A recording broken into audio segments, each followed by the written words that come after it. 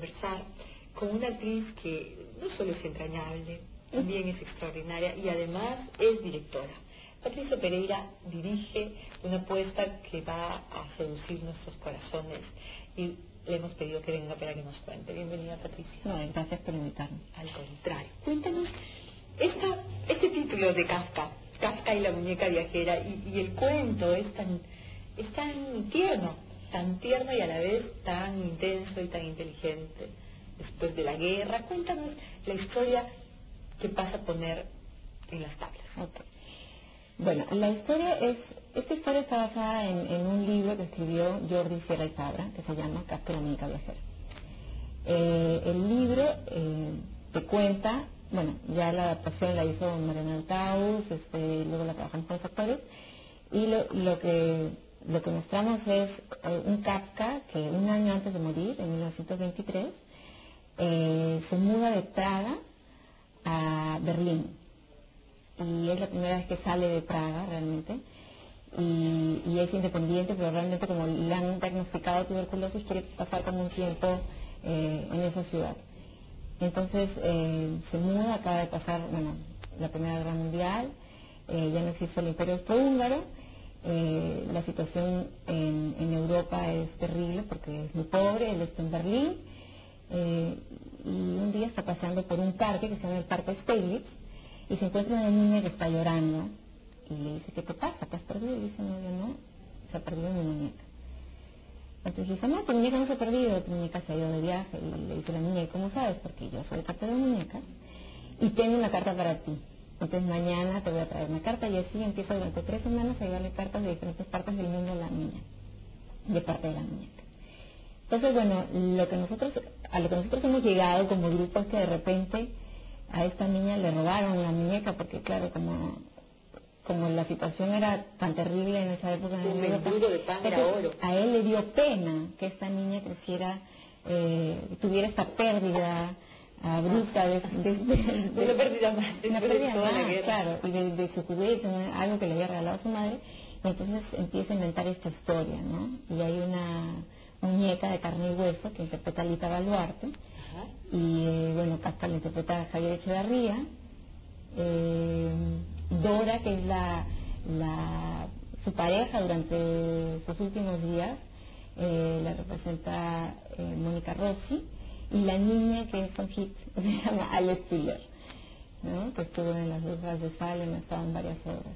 Esta, esta puesta, la que estamos viendo, es la anterior, nosotros es una reposición, estuvimos el año pasado en la Municipalidad de San Isidro por una temporada muy cortita, y David Carrillo vio la obra y, tuvo la generosidad de invitarnos a Plan 9 porque le había gustado mucho y le pensó que, eh, pensó que valía la pena eh, presentarla como, como una obra familiar, porque realmente a la puesta anterior fueron muchísimos niños y muchísima gente preuniversitaria y todo- todas esas edades estaban como muy contentas con el, montaje, ¿no? Pero el montaje es, fabuloso porque además tiene un mensaje muy alentador.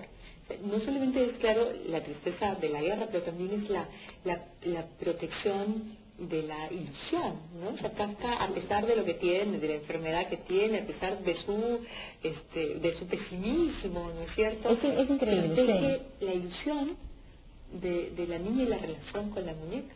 Sí, lo increíble es que este personaje que uno eh, percibe, que uno después de leer sus libros cree que es como sombrío, misterioso, de pronto te enteras de esta anécdota y, y realmente te parece una persona entrañable, ¿no? Claro, allí la expresión kafkiano no, no tiene ningún sentido. Sí, bueno, y aparte, ¿no? ¿Por qué escoger ayudar a una niña que no conoce cuando está a punto de morirse, ¿no? Por lo que representa, ¿no? La niña y por lo que representa la muñeca. Claro, sea, Por lo que representa el juego después de la guerra.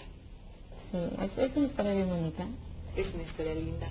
Ahora, cuéntanos, cuéntanos cómo te animas a dirigirla.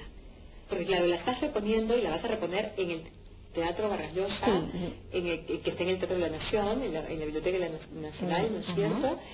Todos los fines de semana, desde mañana y hasta Hasta, me parece que es 7 de mayo, son 10, 12 funciones. extraordinario. Sí. ¿Y por qué te animas tú a hacerla? Porque claro, ahora ya no, ya la estás reponiendo, pero ¿cómo te animaste con esta obra? ¿Tu hija Sí, mi hija. Mira, yo querido hacer proyectos donde pueda involucrar a mi hija.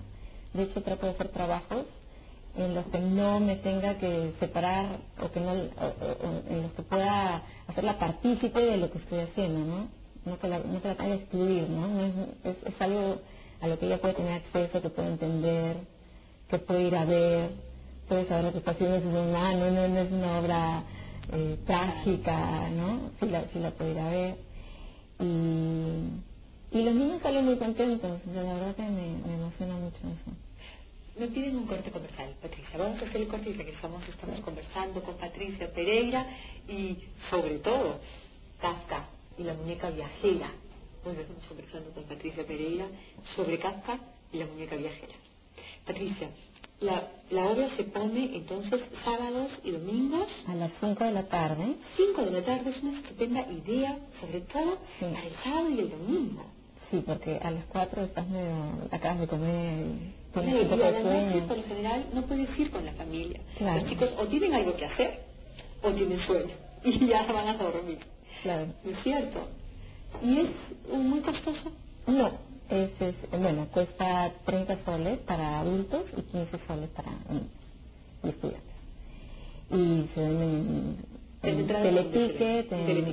en metro, en el teatro. Y está lindo. está lindo.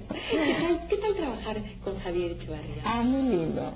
Javier es un gran comunicador, sí, gran actor. Sí, es una persona que construye cosas, es muy creativo. La verdad es que todos los actores son impecables, hemos hecho un grupo muy bonito. Eh, eh, bueno, la temporada pasada tuvimos a otra actriz, que es la que viste en, en, las fotos. Eh, ahora tenemos a Alita Baluarte, que también ha sido fantástico conocerla porque también es muy creativa, propone cosas. Y nada, ha sido muy divertido, todo jugando un poco a mí me gusta trabajar jugando, que ellos encuentren cómo lo quieren hacer y yo los voy ya, ya como persona que ve fuera voy diciendo esto por aquí sí, por acá no, y luego les doy como pautas, ¿no? Pero ha sido un trabajo bien bonito. Eh, ¿No es la primera vez que diriges? En Lima Teatro, sí, bueno, en el cuando vivía en Londres y estudiaba teatro, siempre mis compañeros me pedían que los dirigiera. Entonces ahí dirigiendo alguna horita chiquita. Pero en general protagonizas, eh, actúas. ¿Te, ha parecido eh, muy diferente? ¿Te es muy difícil o al contrario? Ah, no, me es mucho más fácil? Me encanta. Conociendo estar en los zapatos del actor. Eh, no sé, es otro trabajo. Es como que tienes la visión general de todo, ¿no? Sabes lo que quieres hacer, ¿no? Te encargas como de, cómo se ve todo, de qué es lo que quieres decir, cómo lo quieres decir. Eh, y como actor es todo un mundo en sí mismo, ¿no? Te tienes que preocupar de, tu personaje, ¿no? ¿no? tienes control sobre todo lo que pasa a tu alrededor. Entonces, son, dos cosas completamente distintas. Claro, y dos experiencias. Sí. Gratas las dos, muy gratas. Sí, sí, sí, son gratas las dos. Bueno. claro, dirigir, este, actuar depende quién te dirige, ¿no? Por eso tienes que tener cuidado a quién eliges como tu director. Y cuando, cuando pones, también tienes que tener mucho cuidado de a quién eliges como, actor y claro. Esta niñita linda que hace de la niña que pierde la muñeca, es todo un talento. Es un talento. Trabaja ahora en una telenovela. Y bueno, es una chiquita que, que resuelve cosas, ¿no? Entonces le cae el sombrero de la muñeca y ella va y lo recoge, lo sacude y se lo vuelve a poner encima. Es, una chica que, que, resuelve cosas en el escenario, ¿no? Y juega en el escenario. Y juega y se divierte, Eso es lo que más me gusta, que están todos disfrutando y llevándose bien y, haciendo que la obra salga bien. La obra es tierna y también es divertida o, también es, es divertida de las eh, tiene las dos cosas. Bueno también quiero hablar del equipo técnico porque es alucinante. Eh, bueno la escenografía la ha hecho eh, Vicente Silva y Piero Quijano. Tenemos unos murales muy bonitos pintados a mano por, por Piero Quijano en donde hay una como un llamado a Clint en un, mural, como un llamado Rousseau, en otro a Matisse, a Seurat, que son de la época. La música, bueno, es música un poco de Schoenberg, otra de Schubert, eh, hay música muy bonita. Eh, para hacer las animaciones, porque también hay una parte que es animada atrás, unos dibujos que hizo Piero, los hemos animado con un chico muy talentoso que se llama Jimmy Carwas, en un lugar que se llama Origami Studio. Eh, está aquí más, Mario Raez hizo la iluminación, eh, Carlos Delgado ha hecho la producción y de, dirección, la producción y la de producción y dirección. Jesús Álvarez ha hecho eh, la producción ejecutiva. Bueno, tengo un equipo bien grande, bien bonito, ha estado bien apoyada. Eh, Pero tanto suerte. artista, suerte. con tanto artista, claramente la obra es una obra de arte, toda. Todo el mundo se ha esforzado. Claro, Todo el mundo de verdad ha hecho eh, las cosas muy, muy bien y con mucho entusiasmo y con muchas ganas. Y estoy muy agradecida porque realmente sin ninguna de estas personas hubiera sido posible. ¿no? Extraordinario. Así que tenemos que darnos inmediatamente cita. Tenemos que llegar allí. Claro que sí. Todos vamos a ir. Gracias, Patricia, por acompañarnos, Gracias, por traernos esta noticia. Entonces, todos los fines de semana, desde mañana, en el Teatro Vargallosa, en la Biblioteca Nacional. Sí, para estas épocas está muy bien, se relajan. Ah, es necesarísimo. Es extraordinario. Estamos todos muy estresados en toda la situación. Gracias, Patricia. No lo olvide. A las 5 de la tarde, Kafka y la muñeca viajera. Me tengo que ir.